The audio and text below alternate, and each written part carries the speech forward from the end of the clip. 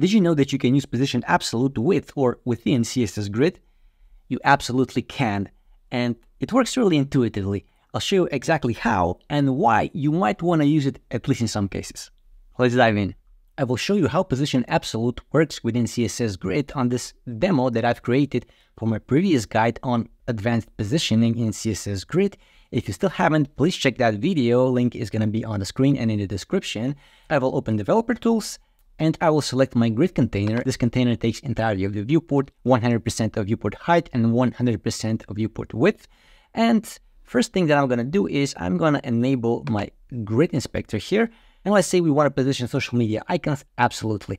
So I will select that element and that element is going to be social icons, aside element. Those three icons right here, YouTube, Twitter, and Instagram. And if you're not following CSS Weekly, either here on YouTube, on Twitter, or on Instagram, or Twitter is no longer Twitter as I understand. So follow CSS Weekly on X or whatever the new name is. In any case, let's try positioning this element, social icons, absolutely. I will disable all properties I've created for grid. So you can see now that this element is positioned on my grid automatically in the first column and first row. And I will set here position absolute. There you go.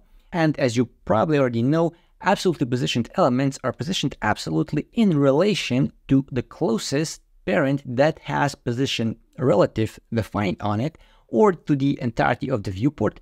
And as in this particular case, we don't have position relative anywhere on any of the elements that are parents of the social icons element, that means that this element will be absolutely positioned on the page itself. So let's try setting the inset block start.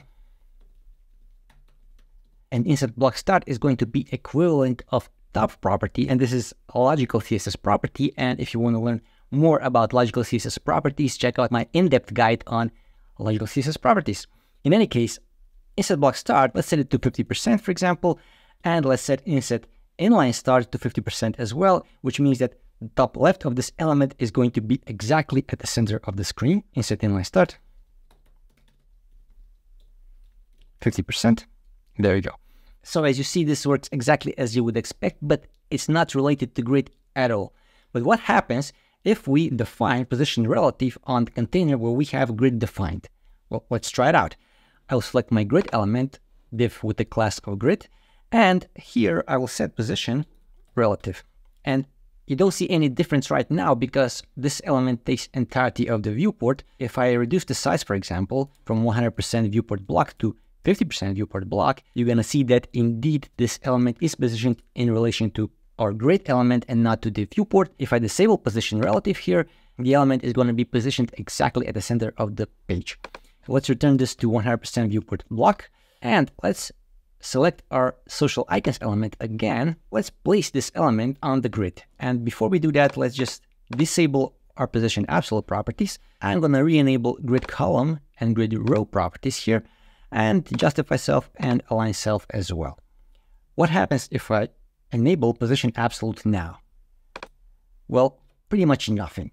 But what if we enable inset block start and inset inline start? Let's try it out. And as you can see here, this element is now positioned exactly at the center at 50% top, 50% left of this grid area. And this actually means that position absolute within CSS grid respects grid areas defined. So if you place an element on CSS grid and you use position absolute on that particular element, any property that you define, be it top, left, inset, inline start, inset, inline end, whatever you do, is going to be relative to that grid area.